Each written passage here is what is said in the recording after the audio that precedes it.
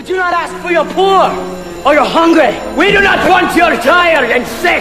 It is your corrupt we claim. It is your evil that will be sought by us. With every breath, we shall hunt them down. Each day, we will spill their blood till it rains down from the skies. Do not kill. Do not rape. Do not steal.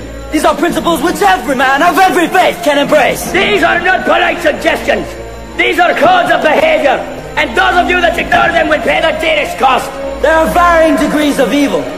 We urge you lesser forms of filth, not to push the bounds and cross over into true corruption, into our domain.